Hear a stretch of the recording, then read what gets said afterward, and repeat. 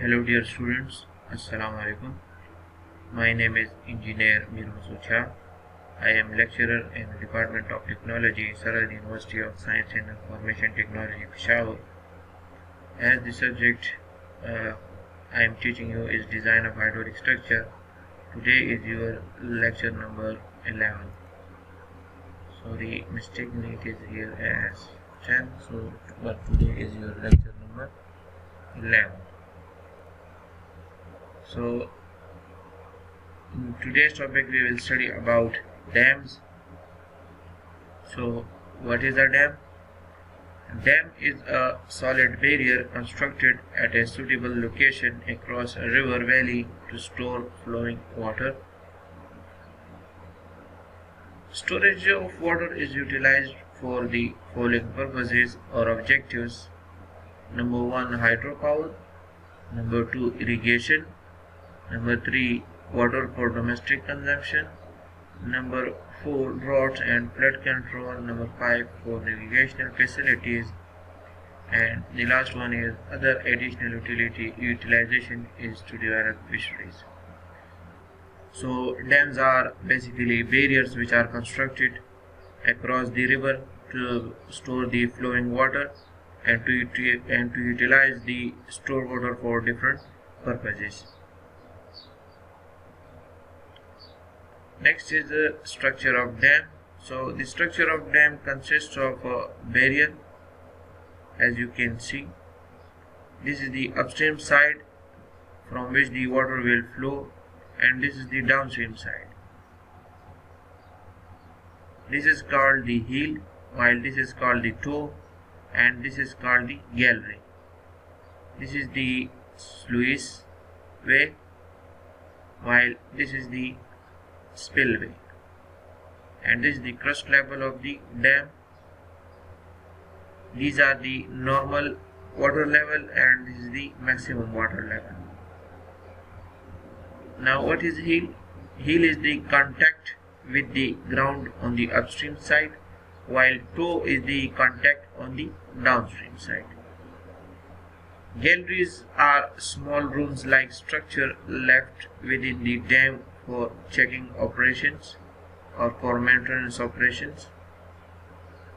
While spillways it is the arrangement near the top to release the excess water of the reservoir to downstream side in case of uh, flood in the river while sluiceways are an opening in the dam near the ground level which are used to clear the silt accumulation in the reservoir side.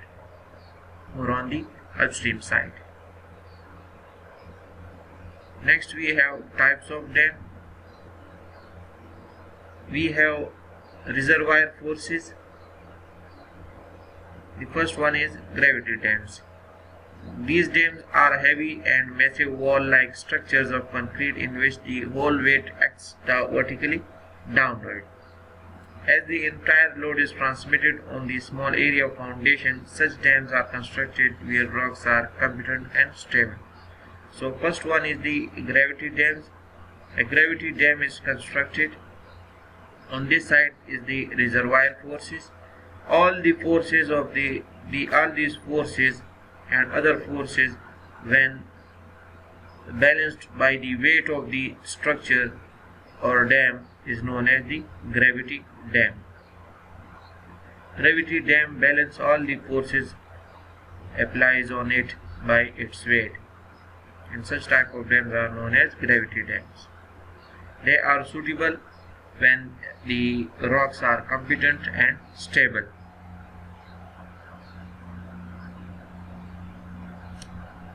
Here is the example of gravity dam. Bhakra Dam is the highest gravity concrete dam in Asia and second highest in the world. Bhakra Dam is across river Sutlej in Himachal Pradesh. While the construction of this project was started in the year 1948 and was completed in 1963, in seven, it is 750 foot high above the deepest foundation, a straight concrete dam being more than three times the highest height of Qutub Minar.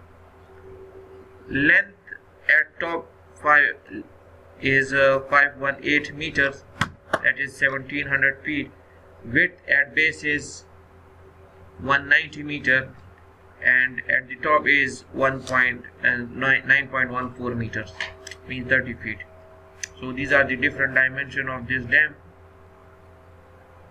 Bhakra Dam is the highest concrete gravity dam in Asia and second highest in the world. These are the some other example of gravity dams. Next type is buttress dam. What is buttress dam? Buttress dam is a gravity dam reinforced by structural supports as you can see in the figure. These are the structural support called buttresses Buttresses a support that transmits a force from a roof or wall to another supporting structure. So these are the buttresses wall as you can see in the figure. They transmit the load of the dam to the surface or ground on a large surface area. This type of structure can be considered even if the foundation rock are little weaker. Next type is arch dams. These type of dams are concrete or masonry dams which are curved or convex upstream in plane. This shape helps to transmit the major part of the water loads to the abutments.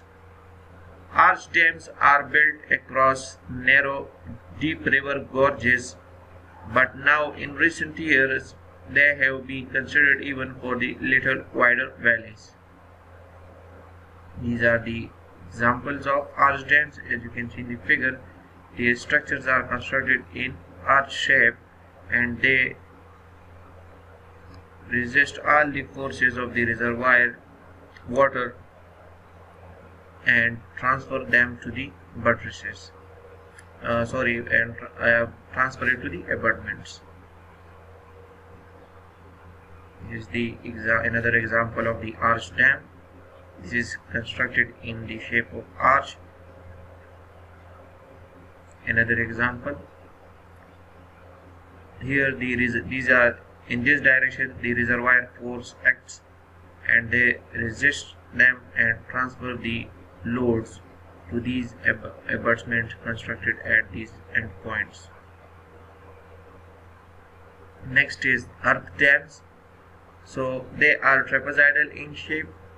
Earth dams are constructed where the foundation or the underlying material or rock are weak to support the masonry dam or where the suitable component rock are at greater depth.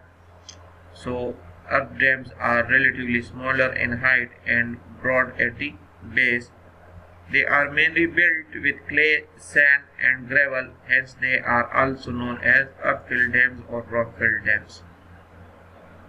This is the example of earth-filled dam. They are constructed of uh, boulders, soils, clays, etc. Normally they are in trapezoidal shape and they are constructed at the points where the soil or the foundation soil is weak.